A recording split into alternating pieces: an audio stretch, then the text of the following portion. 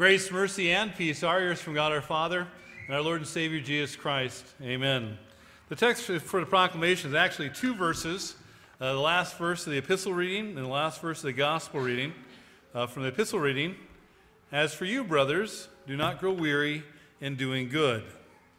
And from the gospel reading, Now when these things begin to take place, straighten up and raise your heads, because your redemption is drawing near. In the name of Jesus, dear Christian friends, the theme for the message this morning is keep looking up. The last few weeks have been big weeks for high school athletics in our state. Uh, football playoffs going on, and state volleyball was this weekend. If you're a Lutheran High fan, it was a rough week. We, our football team lost on Tuesday, and our volleyball team lost in five sets to the eventual state champions. And so we know it's kind of tough. And so one week you can be the hero, Next week, you meet a GOAT, right? Jordan Westerkamp, uh, you know, two weeks ago, great hero making the catch. Last two weeks, he's got fumble fingers and kind of feels a little down about things. And I'm sure coaches everywhere, whenever they have those tough plays that take place, they always say, keep your head up, keep looking up. And that's what our gospel lesson encourages us to do.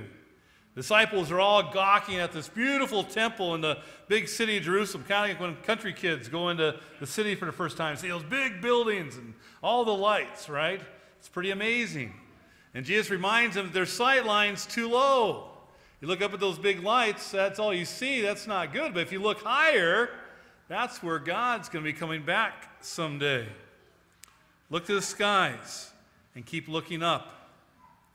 That's what our. Uh, uh, introit for the day talked about. Psalm 121 talks about where are you going to look for your help? Psalm 121 says, I lift my eyes to the hills. From where does my help come? My help comes from the Lord who made heaven and earth. Where are you looking? Our perspective is very important.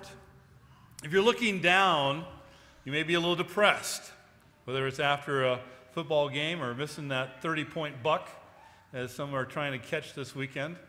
Uh, maybe it's uh, because of relationships. Maybe it's because of jobs. Maybe it's because of finances. It's looking down. We're depressed. Our sight line's down. Or maybe it's because we're looking back. We can't see what's ahead of us because we keep looking back at the things we've done wrong and the shame that we have with those things, and we're not keeping our focus ahead. We keep looking back. We need to let go of the past and keep looking forward. But sometimes when we look forward, though, we keep our eyes down and we're looking just at these temporal things. And as Jesus said in the gospel reading, this is all going to be gone someday. Anything that we have in this world is going to be gone. Not one stone upon the other will be turned up. You can't take any of this with you. We need to look forward. We need to look up. If we look forward, look higher. Look there. But it's hard to do for our eyes, but we really need to have one eye looking up, right? So Jesus is coming. And we need one eye looking forward so we don't run into walls and posts and those kind of things. So you need to have both eyes. You need to have forward thinking and upward thinking at the same time. We look up to the maker of heaven and earth, our God, our provider, our Savior. In our epistle lesson, St. Paul talks about working hard. Follow his example. He was a hardworking guy. He wasn't a burden on there. He was reminding them, in fact, his command was don't hang around with idlers. Don't be idle like them too. You know, keep working hard as even his our forefathers did. You think about the sod busters that broke up our land and lived in sod houses. Uh, we think about the forefathers that helped build this congregation and this building because of their hard work and sacrifice. Paul commands them to stay away from idlers, to follow example of your leaders and your forefathers and work hard. He didn't command them not to help those in need. He says, if you don't eat or if you don't work, you shouldn't eat. So I guess I have to do a lot of work uh, to keep up with myself. But, uh, you know, the, the keep uh, working, he didn't give a command not to help people. He still said to help people. In fact, I've been doing a lot of social ministry the last several weeks of families in need right here in our congregation. And angels within our congregation have stepped forward to bless those who are in need. Yeah, we're supposed to help them when they need help. If you work, if you don't work, you don't eat, but we can continue to care for those who are in need. But the other extreme of that is to work too hard. Become so focused on work and trying to get things this life that we forget about things of faith. We forget about things of family. We lose perspective of heavenly things, those things you can't take with you. See, we've heard from week after week the last several years from the stewardship biblical perspectives is that everything we own is God's. We don't own anything, it all belongs to Him. We're just caretakers. And as we heard in the lay presentation, stewardship is not grab your wallet and worry about taking your money.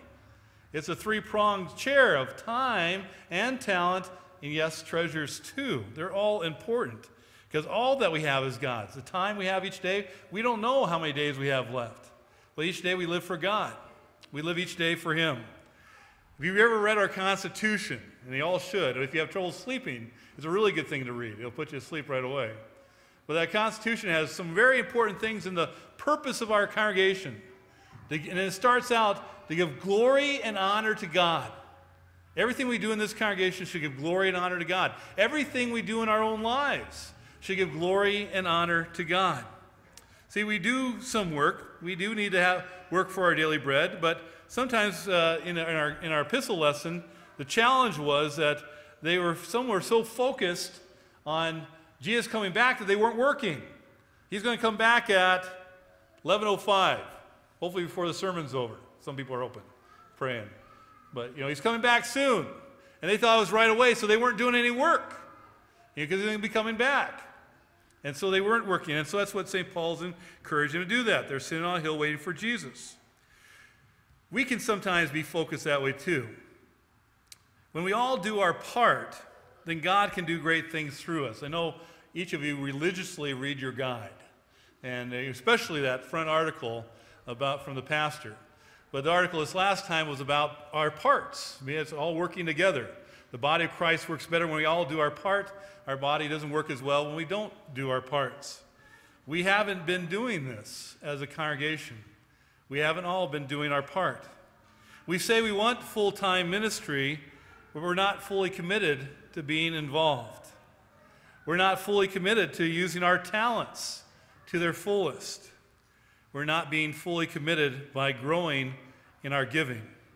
It all starts with our faith because of what Jesus has done for us. He died for me. I'll live for him. And then in response, I'll use my time and my talent and my treasures. Because we want to honor God and give him all the glory, we balance faith and family, work and recreation, being recreated by not doing work. So we do it all to the honor and glory of God. One of the things that I enjoy about uh, a member of the Optimist Club, and at the end of our meetings, we always have a creed by which we want to live by. And when there's many good things in that creed, and one that stands out to me all the time is we should be focused, so focused on proving ourselves that we don't have time to criticize others. And it's really interesting, isn't it, in the epistle lesson? I didn't know it was in the Bible. It talks about busybodies. You know, it's right there. You know, there's people being busy, but they're being busybodies instead of being about their work and encouraging. In fact, if we are all taking care of our part, doing our part, we wouldn't have time to criticize those and, well, they should be doing this and they should be doing that and they should do this better. We should focus on improving ourselves, grow in using our time in service. Grow in using our talents where they are needed. We all have been given talents. Nobody here has been left out. You have at least one. You may have to search for it and look for it, but we all begin at least one talent by God. Some may even even more. Maybe you have a special gift of playing the organ or singing. Maybe you have a woodworking, or maybe you have certain skills with math that can be used in service to God, but they can all be used. Grow in using our talents where they're needed, and also grow in using our resources. One of the things I make sure I don't do, and I think I've shared this with you before, is I don't look at what people give. I know I'm a sinful human being, and if I did that, I'd probably act differently. And so I work under the assumption that we all need to improve on our giving. You know, if I knew people, if I thought someone should give more, I'd probably treat them differently. If I thought they were giving a lot, I'd probably treat them differently too. But we all need to grow in our giving, including myself. And I need to grow in all those areas of how I use my time, how I use my talents. We can all improve. One thing I hear over and over again over the years is how we're a blue collar congregation and it's just kind of tough for us to get going. Demographically, right here in this neighborhood where this church sits, the average combined household income is $60,000. They know that. They, they, they can figure out that out. But yet, we don't have more than a handful of people that give more than $6,000 annually that would tithe what they make as a household income. That's a challenge. We're not a poor congregation. We are poor in our giving. So we need to work on improving ourselves. Then we can't criticize others. Not one person is going to fix our situation. If you look at our budget, our mission ministry action plan that was proposed last Thursday at church council, it's roughly about $54,000 deficit we're proposing, about $1,000 a week. I don't expect one person here in this congregation to make up that $1,000 every week. But you know, we have at least 100 giving units every weekend. And if every giving unit gave $10 more each week, we'd make up that $1,000 in a hurry. It's possible. We are not a poor congregation. Work on improving ourselves. Each of us doing our part will. Because our theme of our stewardship theme is we're blessed by God to be a blessing. We are all blessed. We're all blessed in different ways, and as God blesses us, we respond to Him. Now we use our time and our talents and our treasury. One of the important questions that's being asked, it was asked at the elders' meeting, at the church council meeting, be asked on December 15th. Do we want full time ministry here at Mount Olive? We have two options. We increase our giving to match what we want to do in ministry. Then we can continue to do full time ministry. Or we can decrease the ministry to match our income and be doing less than full time ministry. When we give as God has blessed us, when we each do our part, then we can do more ministry than we ever thought possible. That's an act of faith. That's an act of trusting God. Well, I give him everything I have because he died for me. I'll live for him. There's not a part of my life God can't have. I give it all to him. We can do more. Think about the possibilities that we even gave 5% as a congregation on average. Think about the wonderful blessings of ministry could do, the dreams we could have of having a daycare, having additional staff, having more care in our community for people in need. If the ministry of Mount Olive matters, please be at our voters' meeting on December 15th. We'll discuss our ministry action plan, our budget, and how we want to do ministry in the future. There's no doubt that life is hard. There are challenges and disappointments. There always will be. There always have been. And guess what? Every time we've had those challenges in the past, God has more than met them. He's been there for us, He's taken care of us, and He won't let us down now. How will we respond? It's tempting to put our heads in the sand, pretend we'll just keep on going the way we have in the past. We've seen that line item in the, in the bulletin and the guide for years that we're not making it financially. And let's continue to do that eventually until money runs out. That's one way. We can't keep on going like that, though. The way to move forward is to keep looking up. When we look at Jesus, when we act in faith, then God can do great things. When our focus is on Jesus, we can make sacrifices like He did. And when we respond in faith, knowing that all we have, our time, our talents, and our treasure are God's, then God will do great things through us. And the encouragement from the epistle reading don't give up, don't grow weary in doing good. Keep doing the good you're doing and keep growing in your faith, but continue to do everything to the honor and glory of God. Amen.